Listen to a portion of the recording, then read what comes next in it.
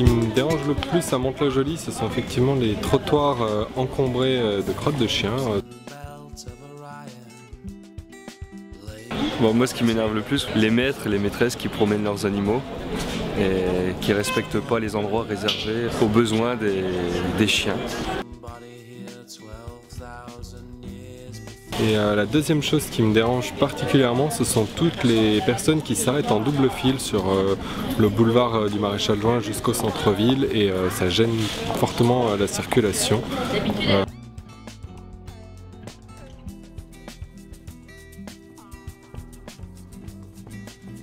Plus c'est quand des voitures se garent en warning sur, sur le trottoir et que ça nous oblige à, bah, devoir aller avec la poussette sur le trottoir, euh, alors que c'est hyper dangereux. Donc ça, c'est quelque chose qui m'importune aussi beaucoup.